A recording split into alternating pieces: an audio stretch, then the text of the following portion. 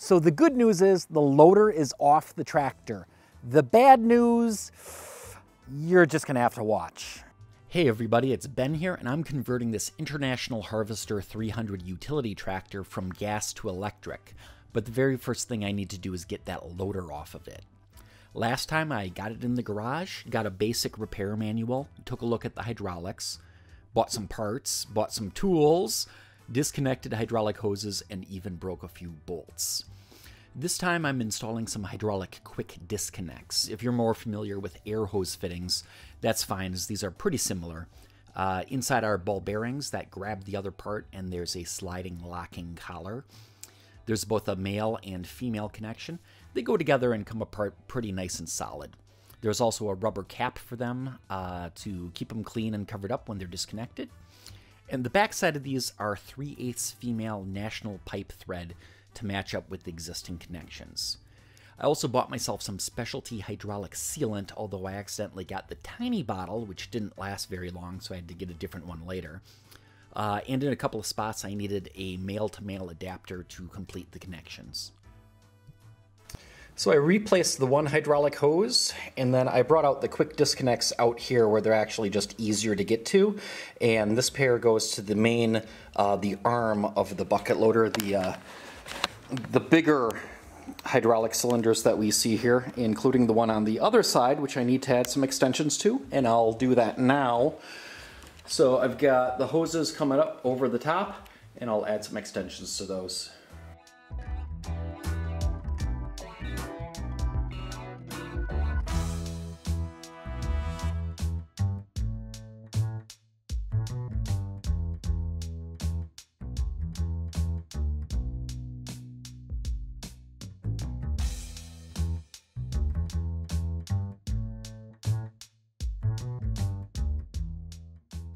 Okay, well, right now I'm feeling pretty good about this uh, International Harvester 300 utility tractor because uh, I just did what I needed to on the hydraulics.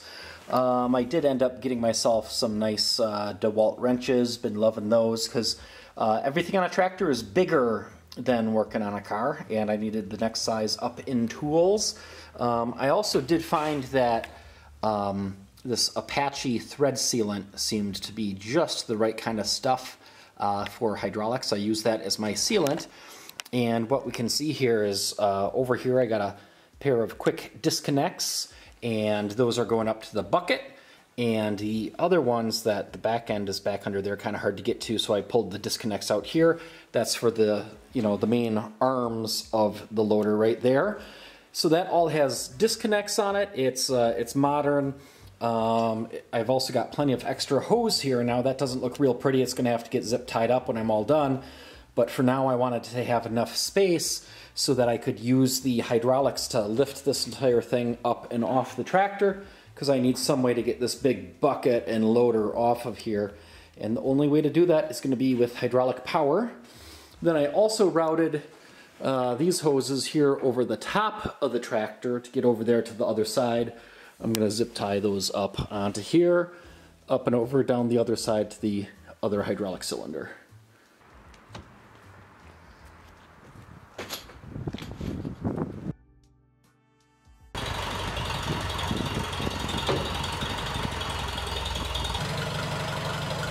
It smells awful in here and this is with all the doors open. Well, the good news is if there's a hydraulic leak, I can see where it is right away.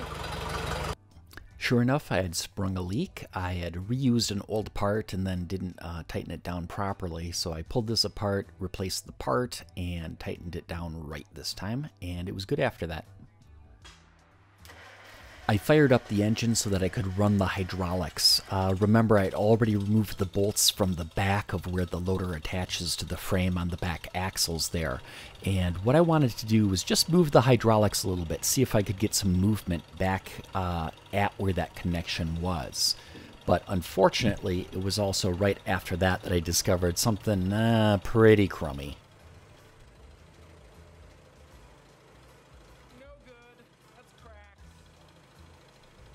Clearly, I was pretty concerned about this. First thing I did was look to see where the loader frame was and wasn't attached to the tractor. And frankly, this just should not have happened. Um, it almost looked like it uh, came apart under its own weight.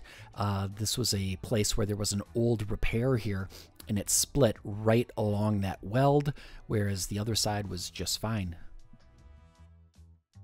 I tinkered with the tractor a little bit more, including removing the grill, and after that decided it was just time to get the tractor out of my garage.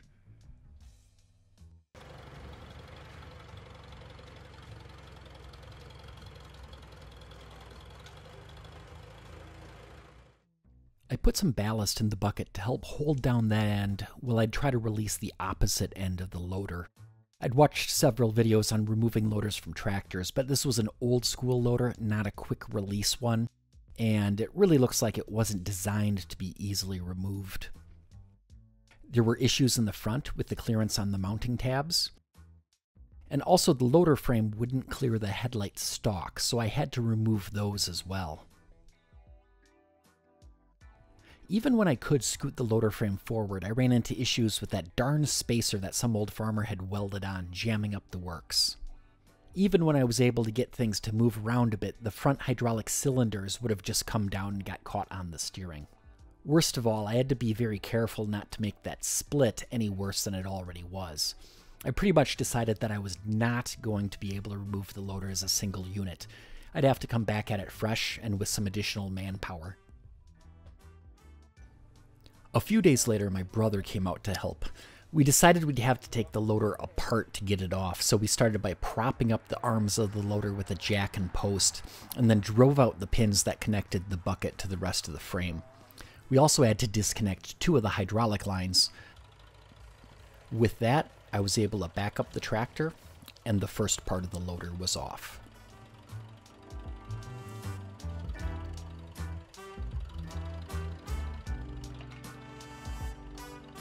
Okay, that will definitely need to be secured.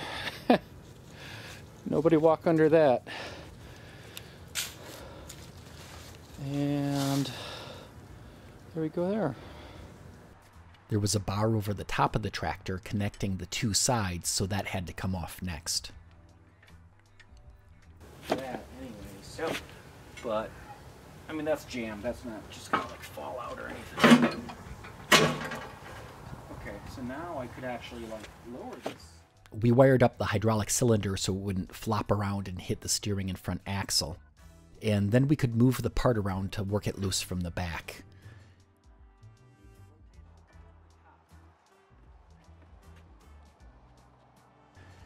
After that, it was just a two man lift to get the part out of there.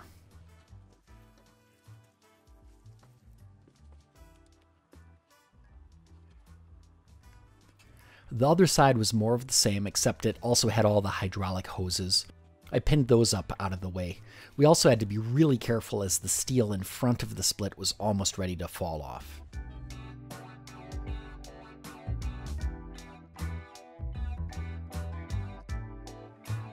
So it's not pretty, but the loader is off the tractor. Woo! Tractor there's the loader. So it's not over yet though because I still needed to get the tractor back into the garage and when I went to go start it, I could not start it no matter what. I spent well over an hour trying to start it. Uh, eventually I gave up and I went and got my Electrac lawn and garden tractor, which frankly uh, looked like the world's weirdest tractor pull. And even then it was less than ideal because the temperature was about uh, 33 degrees and raining, uh, which is the ultimate recipe for wet. I mean, even if the ground was frozen, at least things wouldn't sink into it. Once I got the Electrac up onto the driveway, that's where I actually had enough traction to pull the tractor through all the mud, get it up onto the driveway, and then finally push it back into the garage.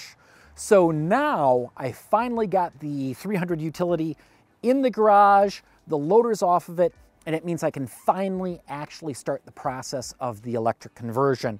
So uh, the next video is going to be de-icing. That means removing all the internal combustion components, uh, gas tank, oil, coolant, radiator, all that, and eventually the engine. So I'm excited about that. Uh, check out the links so that you can see all the videos on this project and make sure that you, uh, you subscribe and you hit the little notification bell so that when the next video comes out, uh, YouTube will actually tell you about it right away. So until next time, stay charged up.